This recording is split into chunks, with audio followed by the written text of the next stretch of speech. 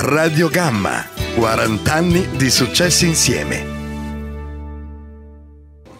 Flavinzina, quello di carta, Flavinzina, quello vero, gli auguri con tutto il cuore. Io che amo la radio, che fin da bambino ascoltavo la radio, i miei più, guarda, neanche a fare apposta, i migliori anni, i primi 40 anni di Radio, di radio Gamma e quindi i miei auguri più sinceri a Radio Gamma, almeno per altri 40.000 periodico per sempre. E quindi come dicono quelli bravi, ciao sono Flavinzina, anch'io ascolto Radio Gamma. Auguri!